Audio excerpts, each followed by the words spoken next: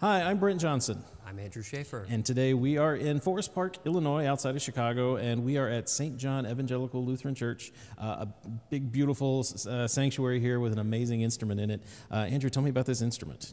Sure. Well, a little bit about the room. First of all, it was designed by, um, well, I should say, many people walk in, and even though this is a Lutheran church, think this is a Roman Catholic It church. kind of looks that way. Um, and that's an astute observation because it was actually designed by the preeminent architect Henry Schlacks. And Henry Schlacks designed many of the city's finest um, Catholic churches in the, during the turn of the 20th century. To my knowledge, and I think many other knowledge, this is his only Protestant commission. Uh, and so it's a, a real jewel of a room, and uh, it's a shame that he didn't build more for Lutherans because we could have learned a thing or two from Mr. Schlacks. Well, and, and this is very different from the modern church we were in at St. Luke's uh, Lutheran, which, if you missed that video, there's a link up here because uh, it's an organ also there built for a Lutheran church, and we have one here Right. that was built with Lutheran worship in mind Sure. uh, by Aeolian Skinner um, in 1958. 54. 54, again, Yeah. pretty close. Um, and we've got 50 something ranks here in a, in a beautiful pipe arrangement. Um, it's just kind of, you feel like you're surrounded by a forest of pipes up here. And in the um, kind of history of this organ, it states that um, the pipe facade was suggested by uh, Paul Bunjes. I have no idea what suggested means. if he like it was a it was at a cocktail party and did it on the back of a napkin, or if he like um, how that all came about, but it was Okay. suggested by uh, Paul Bunjes himself. Um, Paul Bunjes uh, uh, was a professor at nearby Concordia University um, uh, in River Forest, which is about one town over. So um, he would have known this church and this organ really well.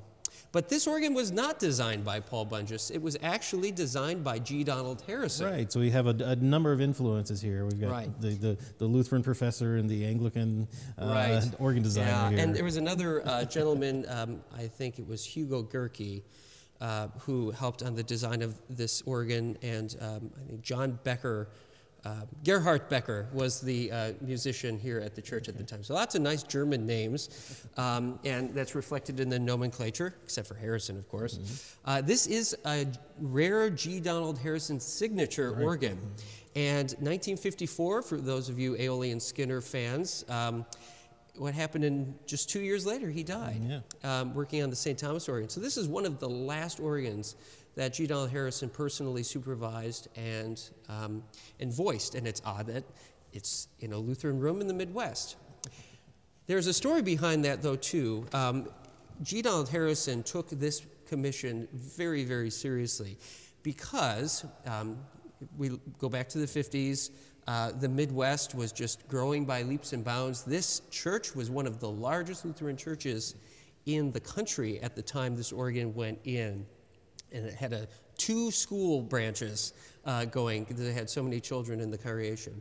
So a wonderful room in Chicago and one of the largest Lutheran congregations. Well, if you're a good businessman and you see this young up and coming uh, organ builder named Herman Schlicker um, taking the world by storm, uh, you knew you had to do something. And so there's this huge market of Lutheran churches in the 1950s um, that were buying pipe organs. So G. Donald Harrison said, aha, here's, a, here's an opportunity to build a very special organ um, to try to break into this Lutheran market. so maybe we have something here that's a little more Germanic and a little more Schlicker-like than Harrison sort of. I mean, do, the, the stop names would lead you to believe that, um, but uh, it's, it still sounds like a G. Donald still- Harrison okay. organ. um, but we'll hear some, uh, a, a few surprises along the way. Well, I'm anxious to hear it. So, um, where should we start? This organ is um, set up by division. You know, sometimes we go with um, uh, tone first, but um, I think it makes sense to explore this organ um, uh, via its division. I'm going to actually start um, in the choir. We'll just work our way up the keyboards. So we have these two beautiful flutes in the choir, an eight-foot Gedeckt.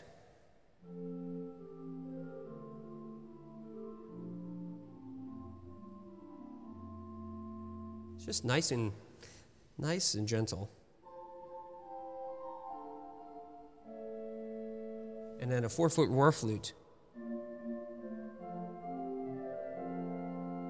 That is one of my favorite war flutes of all time. One of the biggest war flutes I've heard It in a long time. And when you when you pair it with the gedeckt, it makes this beautiful kind of crystal sound.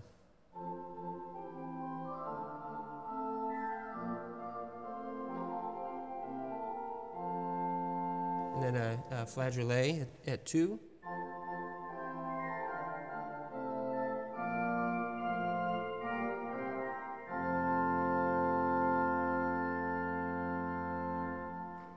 I'll add that it is all expressive. The choir is all in a box on the right side as we're looking at the organ facade. Yeah, and um, they did the thing that uh, drives me nuts as an organist. Uh, the choir shoe is where it should be, but the choir is to your um, right in the swell, so you just um, uh, just have to be careful about that. There's a, a, a Klein Nasat, um, which is a, just a Larigot one and one third.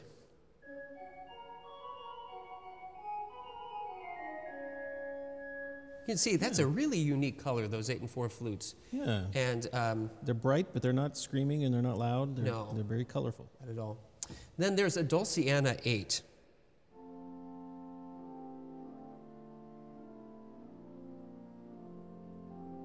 Which pairs nicely with the Gedeckt.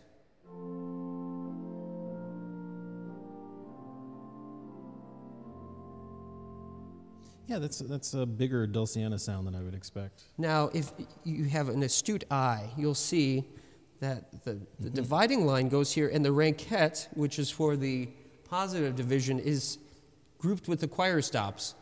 Um, and that is because this organ was prepared for an unda maris to go in. And there was a knob here, and we'll get to the positive here in a little bit. But um, it, when they added the positive, they took the unda maris stop out and put in a Rankett. It was the 70s. Yeah, were, okay. they were making some interesting decisions. But uh, it would have been nice to have the, the unda maris there as, as Harrison envisioned. Um, we have an eight foot Krummhorn, which is just the most Harrison sounding Krummhorn that I know of. Um, you just, whenever I hear an Aeolian Skinner Krummhorn, it's unlike any other builder, um, for good or for ill.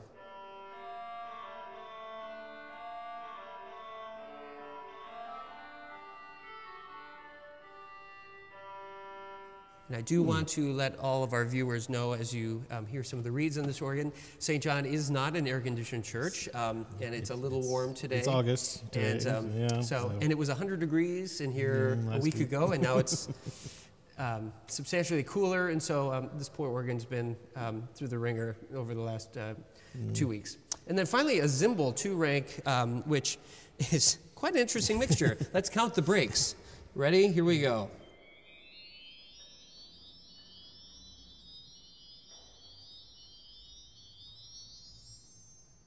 Just Did I hear six? makes me dizzy listening. Dun, bun, bun, bun.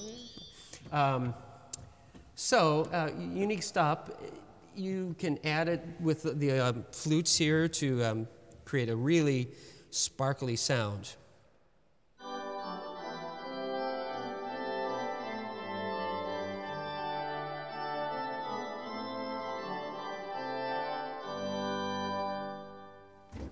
He, nice. he knew the Lutherans like, like our mixtures, and so he, he's like, well, I'll give you a mixture, all right. All right. Um, so that's the choir division. okay.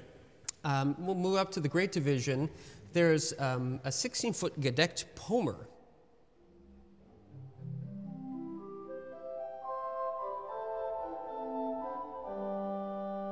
Which is more quinty like in the bass.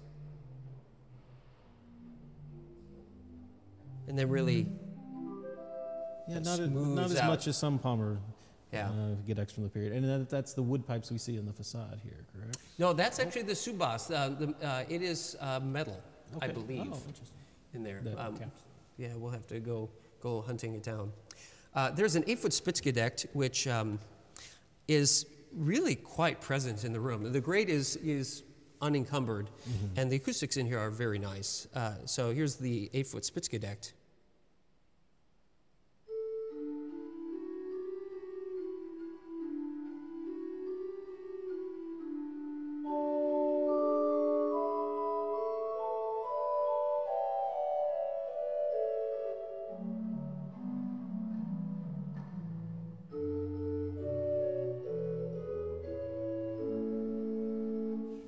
Almost use that like a harmonic flute. It's that big. It's got a yeah, it's a big bold sound.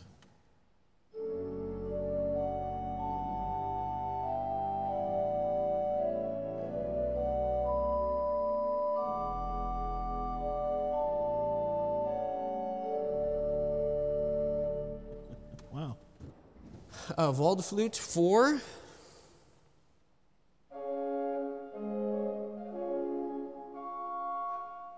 With the Spitzgedeckt. Here it is compared to the choir.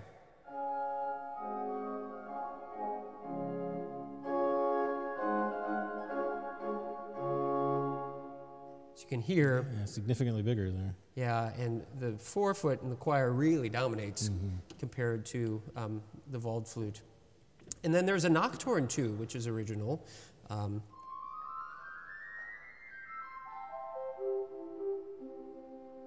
here it's eight, four, and two.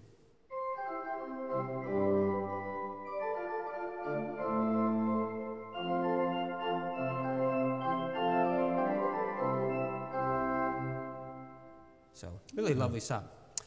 Uh, and then um, the eight foot principal, again, um, he was trying to fool us into thinking he was a Lutheran, um, but we were not so fooled.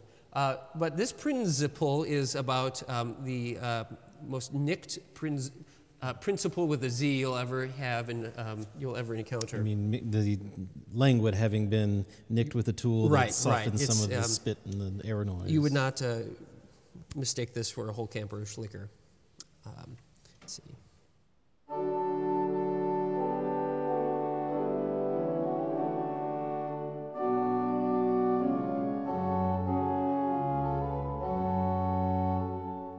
Much more of a diapason tone than the Schlicker.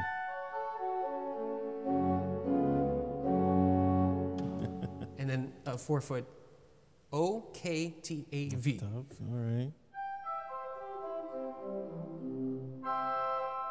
And he was not fooling us. No, no. Here they are together. It's, I think if anything, it's they're of course they're right here in our face, but the acoustics are so good, and they're actually Mm-hmm. voiced a little strong, so that it's giving it some clarity, but it's still got a nice full dark sound. Um, you will find, obviously, in a lot of organs, the Great Division is present and, and kind of drives the organ. But the, when you get the great going in the chorus, it obliterates everything. Um, so it's, it, there's some interesting balance. Um, I wouldn't call them issues, opportunities. Um, be positive when you're trying to register things on this organ.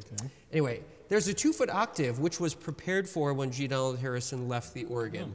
And it was added um, sometime in the early 70s, I believe. Uh, and it, it's not um, as complementary to the 8 and 4.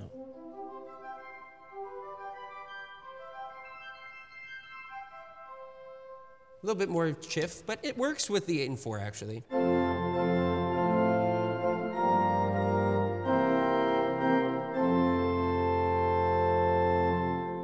Yeah, it works there. With the mixture,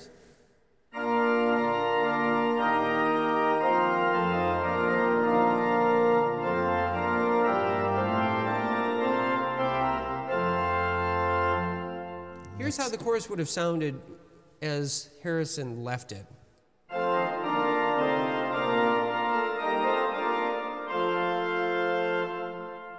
And that's a very vintagey mixture, Yeah, isn't it? Using the Nachthorn instead of the octave. Yeah.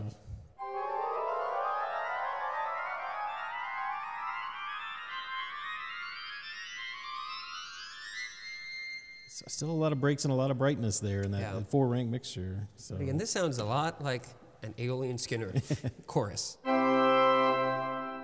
indeed. And then a principal scaled uh, sesquialtera.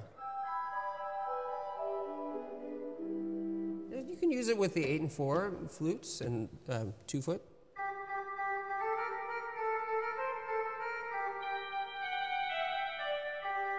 Or um, with the principal chorus.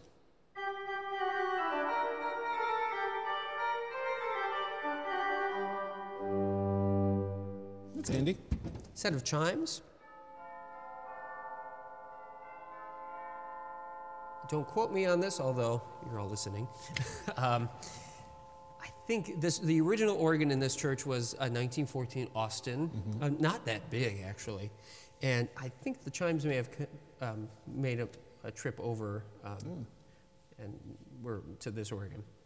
And then a trumpet um, that is uh, added by Berghaus uh, sometime in the 1970s. It's copper in the facade. It actually looks really cool in the facade. Um, but uh, excellent stop um, on its own, not super Aeolian Skinner sounding, but I'll let you all be the judge.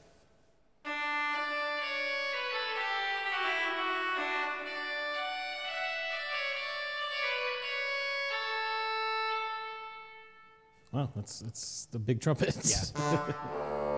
With those hooded resonators, it's almost d- very directional. Uh, Yes, kind of getting and- an Chamade here in the front of the. of You the know, if you if you want to like do your best Cochereau impersonation, impersonation with all of you know, he loved using chamades and use it with the um, a- yeah. the chorus. All right. And then we come over to the swell, which is on this side of the casework Right. and closed over here. Yeah, and this is the largest, is, is, is typical in a lot of Aeolian Skinner organs, uh, American classic organs. Uh, the swell is the, the workhorse of the organ. It's got a lot of, lot of color in it. Um, I'm going to start with the, um, the strings, which I think are just lovely. And actually, um, here's the Spitz Gamba. Don't let the names fool you.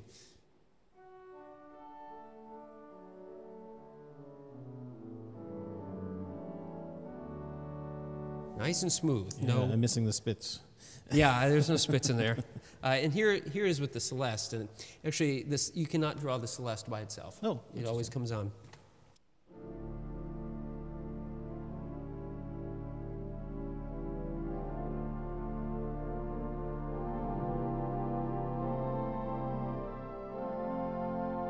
With the uh, super.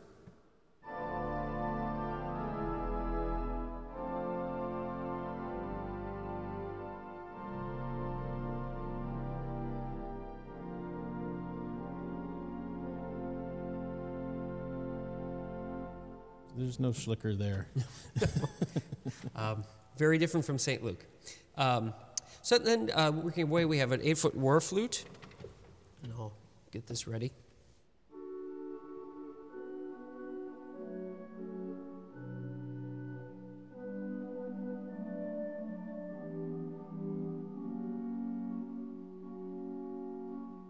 Similar in some respects, the choir one's bigger. Yeah, actually. it's just a little. Uh, four foot block flute.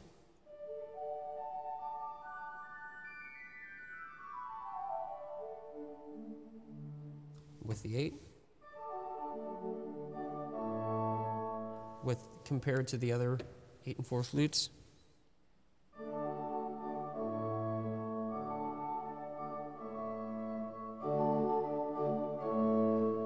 You can't say they aren't different. Um, indeed. But a lot of color, a lot of variety of you can mix and match there. Yeah, four foot principle. There is no eight foot principle in the in the swell. Um, again, pretty refined. Um, here's uh, with the two the the roar flute, spitz gamba, and four foot principal.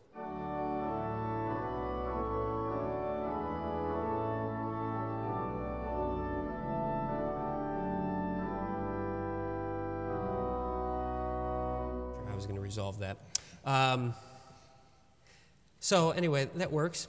I have a story. Um, I learned how to accompany a choir on this organ Okay. growing up here in Chicago, and um, uh, my mentor, Paul Lindblad, is the organist here, uh, has been for um, over 20 years, St. John. So uh, when I was in high school, I learned uh, lots of hard lessons about registration. And I remember once pulling out the block flute- flute four and the four foot principal, and wondering why the organ is so out of tune. Another good friend of mine, um, Dean Christian, who is the curator of this organ, has been for many years, was listening. that. He What are you doing? You never put the four foots together. no wonder it's out of tune.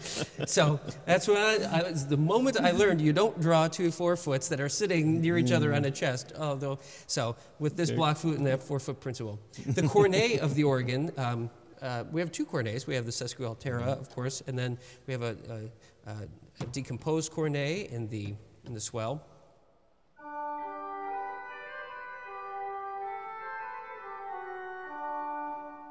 Contrast to the great.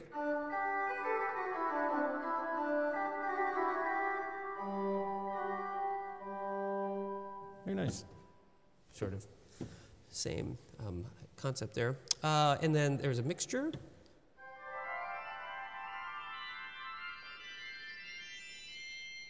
And here it is, kind of with the full swell.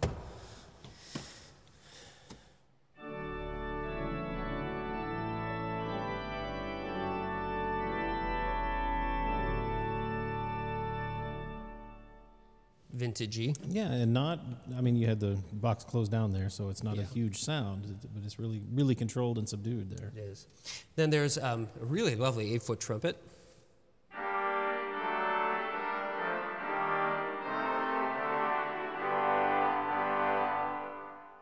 As was typical um, Aeolian Skinner organs, that was the trumpet Yeah. on this organ. Uh, not, not too big. The grade, of course, was reedless until the, the Berghaus trumpet. So um, that, that's your one lone chorus reed, uh, chorus trumpet. Hey. The Schalmei, uh, four foot, I know you're all going to be disappointed, is prepared for. Um, has a Vox Humana, though.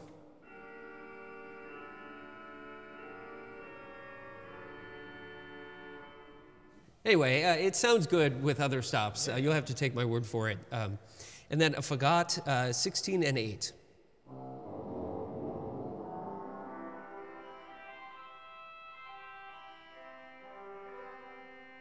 And again, it is out of tune. Um, that one does like to get out of tune, but uh, it's fun as a color stop.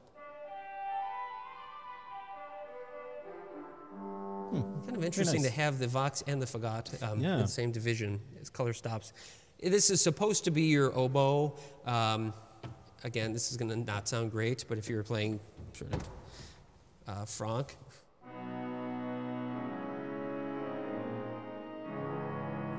um, Okay. and I don't buy it, but I've heard worse. certainly better too. But it's its own thing. It, it, it tries to pretend to be an oboe, Okay. it has no business. Pedal, um, there's a 16 foot principal, again, in the, the Z and the um, facade.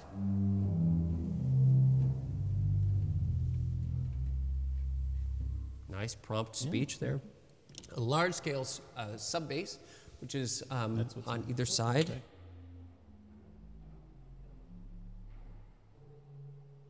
a Spitz octave.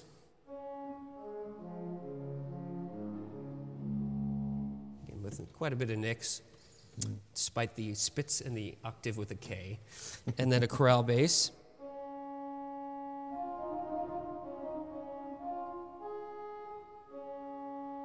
Put together with the mixture.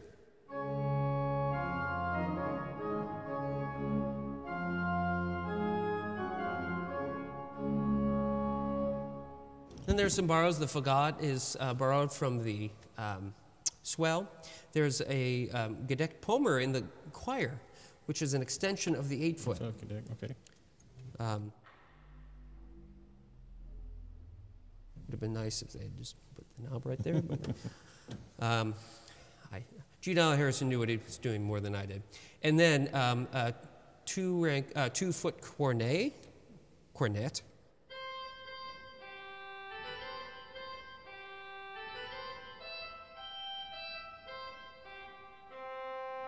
Sounds suspiciously like a Rohrschalmei to Well, me. Yeah, that's, we'll have to look and see what we have back there. But um, it's kind of fun. It, it really peeks out of the, um, the pedal.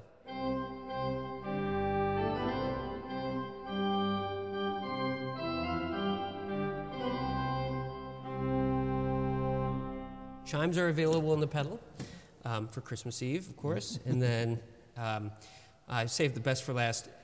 What is uh, we had to call um, um, the airport uh, so that the noise wouldn't disturb them uh, uh, uh, t- 10 miles away. This is the 16 foot Posaune.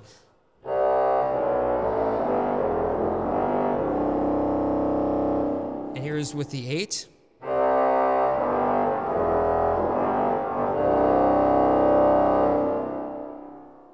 Harrison, uh, that was a thing to do in the 50s. Um, I played Austins like that, Aeolian Skinners, uh, Schantzes, like just when you don't have, I, I, I assume the idea is when you don't have a 32 foot reed, like you just for some reason make the Power of the 16 like 17 times louder. Well, and it's right here in this archway, and it's, it's in the back of the organ. And So it just bounces off just, the just wall. kind of show you how ridiculous this reed is. Um, I'm going to put on a generous helping of stops uh, from the other divisions. We'll super couple the swell. Um, we will not make this. Um,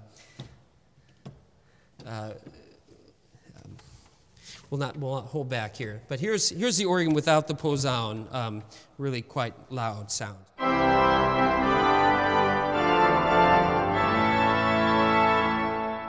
Here's what the posaune does to it.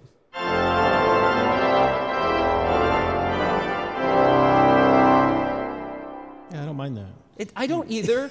Um, I but again, if you're but you've got to have that much of the. you got to have that. So here's, here's, here's the great chorus just with the posaune in the, in the pedal. So no swell.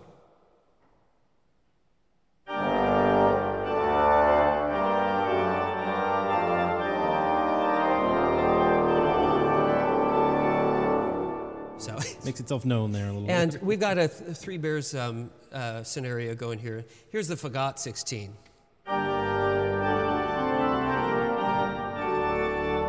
Sort of rumbles, but Just to have a little more. Yeah. it would be nice to have a um, Okay. something in between there. Now, uh, this is running on its original, if you um, combination action. If you actually you can hear the air uh, in the in the console.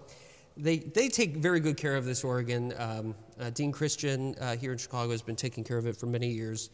Um, there are a few gadgets. There's this choir, both great zero, um, and I believe. Well, let's try to figure it out. I remember it once. Yeah.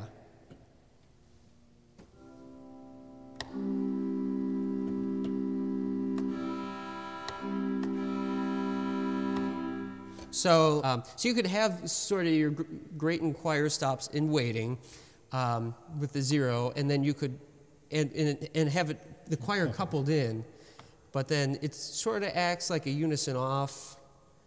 And then if for some reason you wanted to have the choir only on the great and cancel all the stops, uh, let's just say, needless to say, um, the both used to be taped over because I don't know why anyone ever would use this device, but um, maybe they could charge them an extra thousand bucks. I don't know for this device. Interesting. So, uh, looking at the pistons, I'm going to ask quiz you now. Any of them um, just kind of stand out as unique? There's one that says Corral.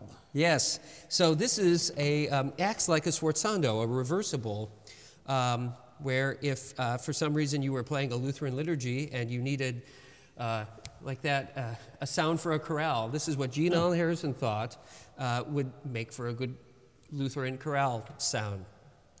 You ready? I'm ready. There's a little light that'll come Oh, on it's a too. blind piston with a light. Yep.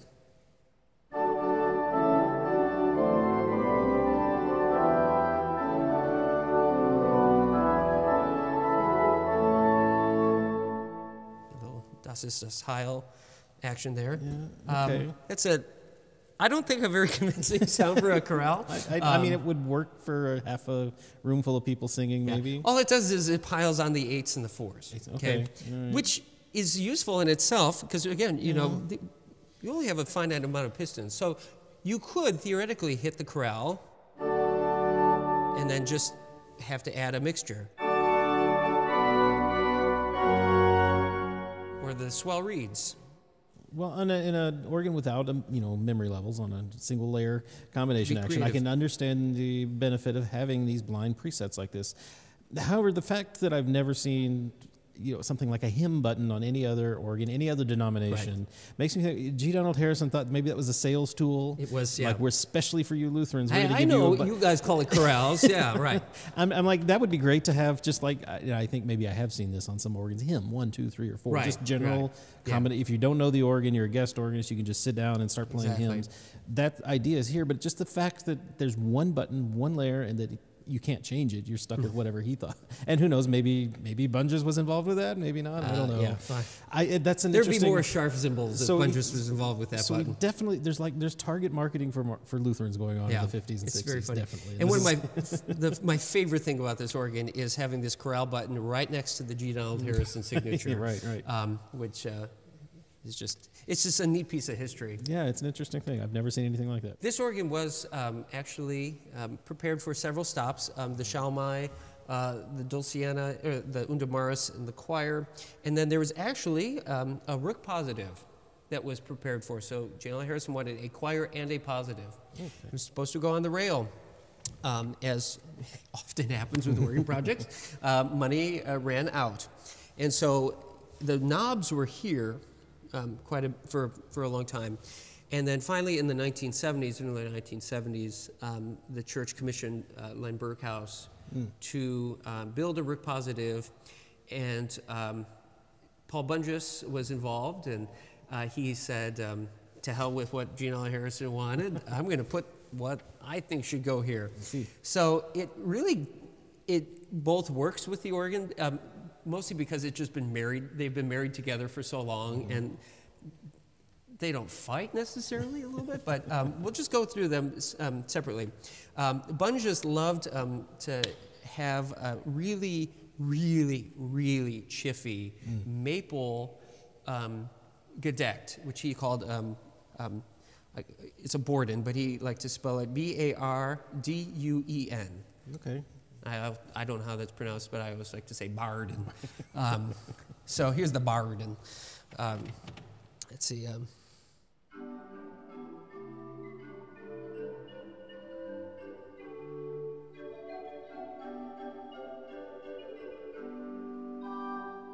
Uh, with extra chiff.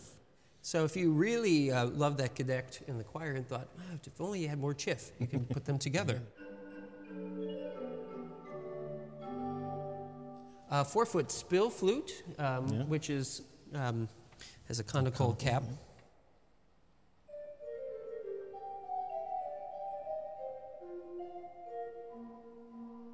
Here they are together.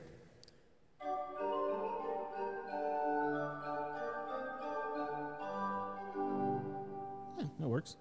Which, in contrast to the great, here again.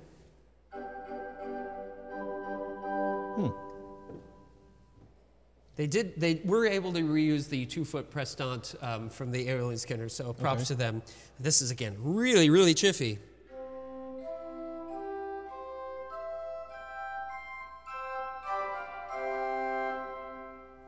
Eight four two.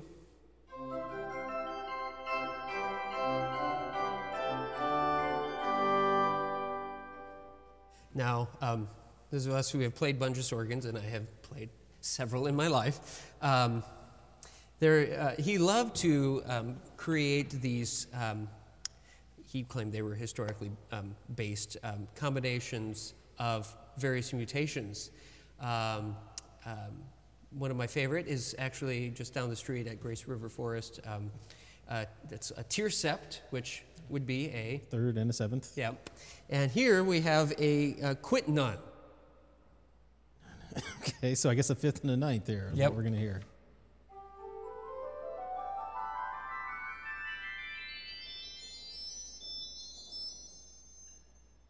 Uh, you know, actually, you might think like, oh, this is weird, but um, I rather like it because it's you can kind of create some fun s- sounds.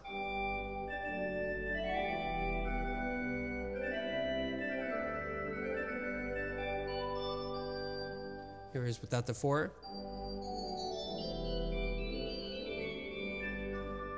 Yeah, it's, it's bright enough that it just kind of sits on top of the already bright flutes It ain't hurting anyone. without uh, yeah sticking out too strangely. So okay, And of course, um, another Bunjesism is to combine mixture names. So we, we can't just have a Scharf or a Zimbel. We have to have a Scharf Zimbel. Scharf Zimbel. All right, Um, so here it is by itself. Is Um, three ranks. three ranks.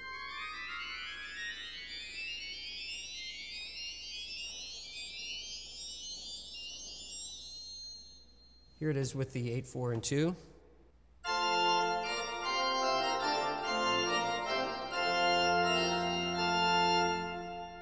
Good way to wake them up after the sermon. Yeah, Um, definitely. Here it is with the uh, quinton on because uh, why the hell not?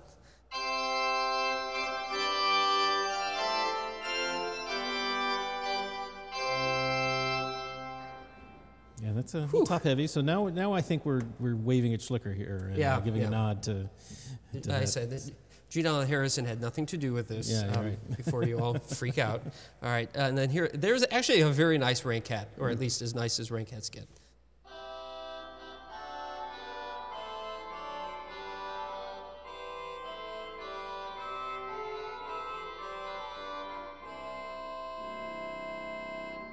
and I like rather kind of like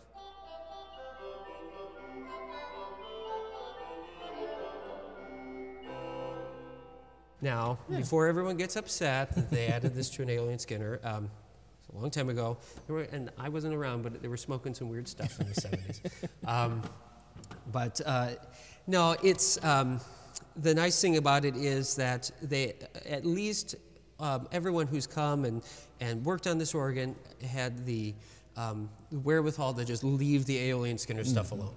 And so you know, most of the organ is all just G. Donald Harrison um, brilliance and, and, and beauty.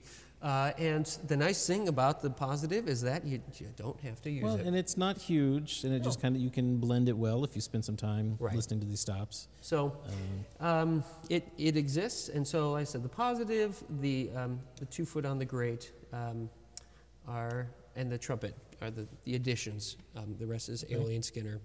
And so um, we're really grateful that this organ has um, survived and that it is used um, often, every Sunday morning, and to a congregation that really likes to sing.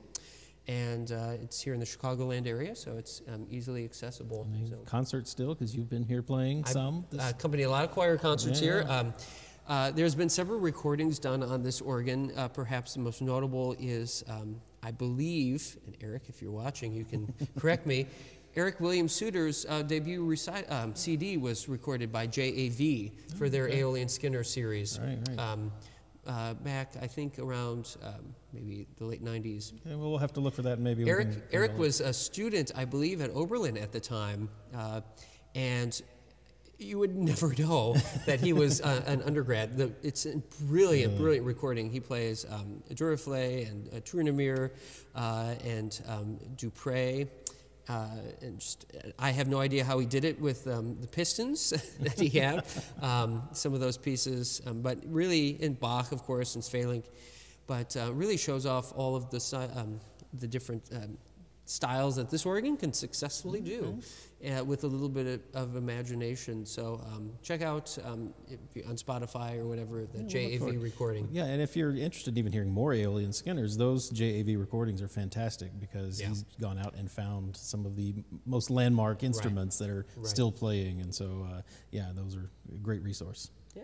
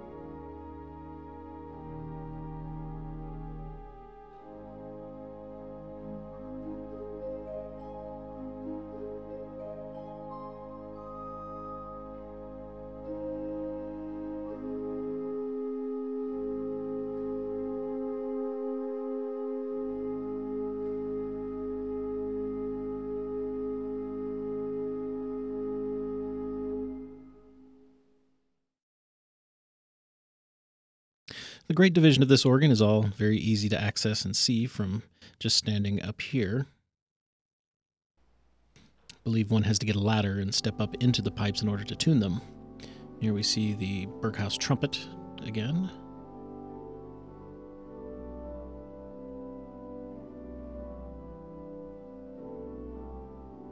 There's a panel in the front of the case that opens up. It hinges open, and we can see a wind chest there for the facade pipes with tubed off pipes, and this is a door into the swell. Looking up above at the pipes, we can see there's a chest over the walkboard. That caused some problems later, but down here we can see regulators for the swell and the Great.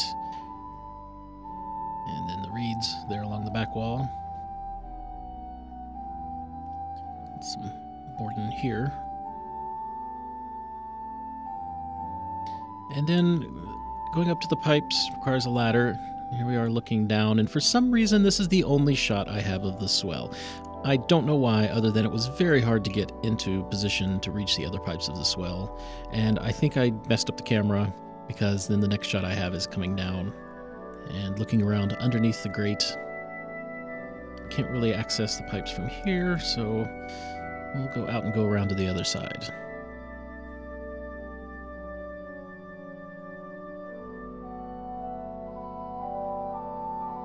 Here's a similar door here on the other side of the case, and this we see another facade chest and the door to the choir division.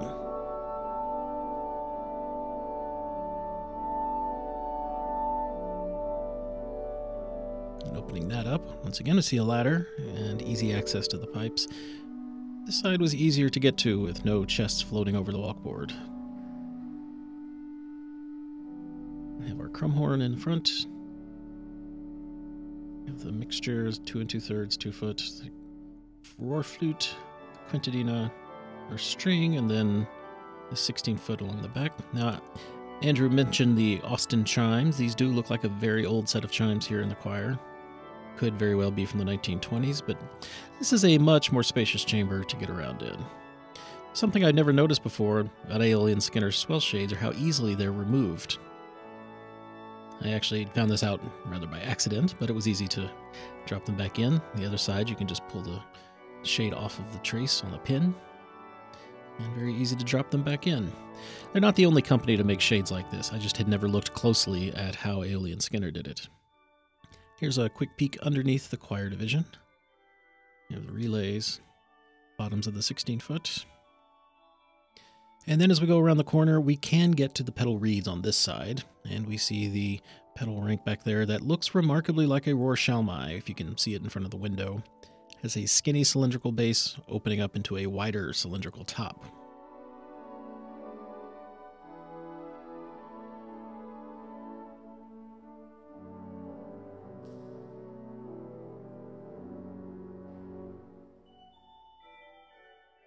Andrew, thank you for showing me around uh, this instrument. This has been a delight to hear. Um, G. Donald Harrison trying to be Lutheran and then blending with uh, you know some Berghaus stuff. So, but it, it, works. It's still here, and the church obviously uses it and enjoys it. They have, not ripped it out and they haven't ignored it. So, um, so thank you for showing it off, and uh, I hope we'll see what else we can dig up together. Uh, and uh, my thanks to Paul Lindblad for letting us come in today and helping getting everything set up uh, because this has just been fantastic to see.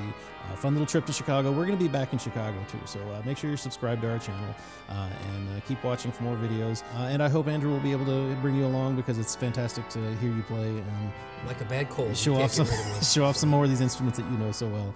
Uh, until then, I'm Brent Johnson. I'm Andrew Schaeffer. Thanks for watching.